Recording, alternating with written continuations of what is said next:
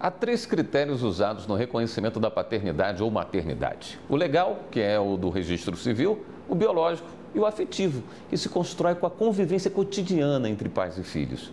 No STJ, os ministros reconheceram a paternidade afetiva mesmo após a morte do pai.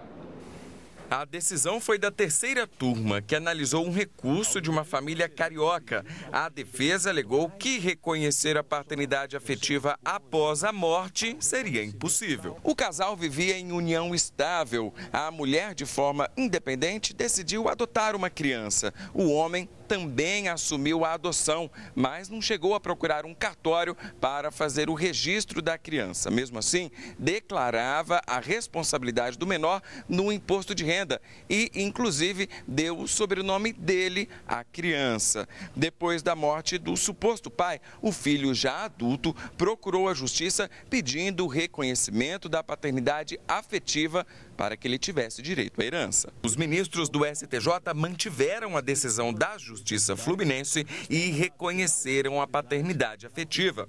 O relator do processo, ministro Vilas Boas Cueva, citou as provas do caso como bilhetes do pai para o filho e matérias jornalísticas de colunas sociais sobre festas de aniversário da criança, sempre com a participação do pai adotivo, além dos registros oficiais da Receita Federal. Para o relator, os laços de parentesco ficaram bem evidentes.